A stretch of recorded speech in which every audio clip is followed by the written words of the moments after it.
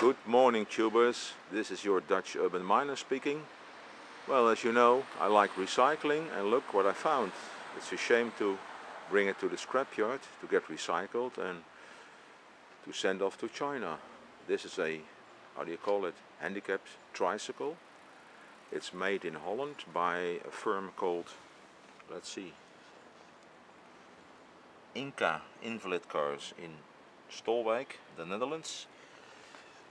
Well, it's got a 50cc Saxonette automatic engine.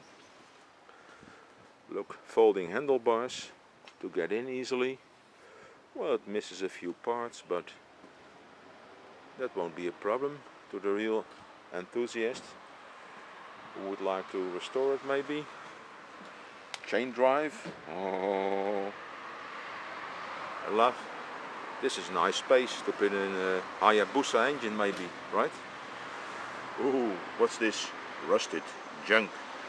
And the other one, ooh, rusted junk. Bit of tape.